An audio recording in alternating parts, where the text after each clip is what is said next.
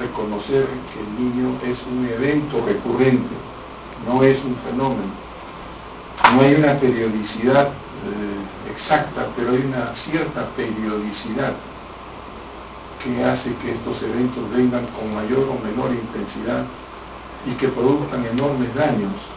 Estos daños cuando se producen, como fueron los daños del año 1983 y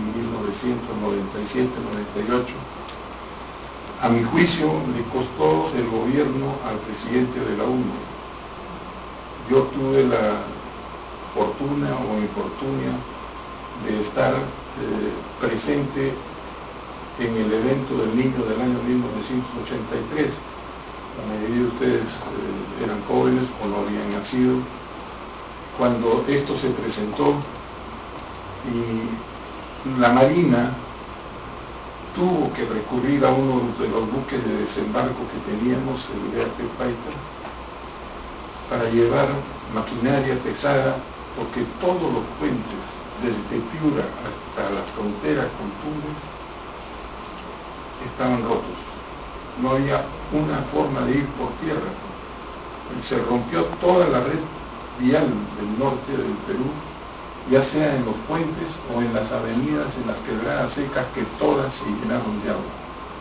Yo viví esa etapa, eh, el buque que mandó la Marina para traer los, eh, llevar víveres, calaminas, ayuda a la población de Tumbes, paró en Caleta Cruz con tan mala suerte que se puso sobre el casco de una bolichera hundida hacía mucho tiempo y eso ocasionó que las máquinas, los grupos electrógenos, las salas de grupos electrógenos tuvieron forado y estos buques entran con un ancla, la tiran en la popa, varan y una vez que recargan se jalan de esa ancla para lo cual necesitan tener electricidad.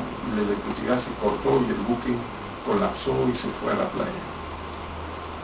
No sé si ustedes han visto alguna vez un buque de desembarco, son buques muy altos, panzones, de, fondo plano. Si ustedes, eh, desgraciadamente no localicé las fotografías que tengo sobre esto, algunas nada más, pero el buque estuvo totalmente varado en la playa y las olas, quienes conocen Caleta Cruz, que es una bahía como el Cantolao, suavecitas, tranquila Las olas pasaban sobre la cubierta del buque. Era impresionante cómo lo fue empujando el mar hacia adentro. Yo les voy a explicar por qué se produce, que es uno de los efectos del niño.